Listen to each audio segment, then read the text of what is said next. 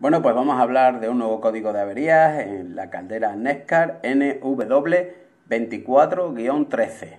Bueno, ¿de qué código vamos a hablar en esta ocasión? De la 8.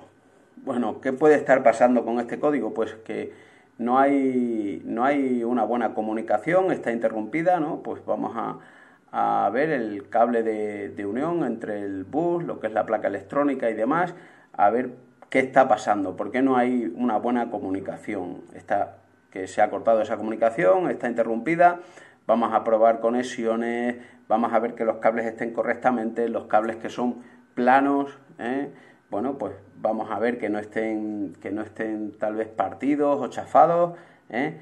uno por uno se puede mirar, que haya continuidad y eh, también las conexiones, lo que digo siempre, ¿vale? Que está un poquito sucio o hay algún, alguna patillita que no hace una buena conexión, vamos a mirar todo esto, ¿vale?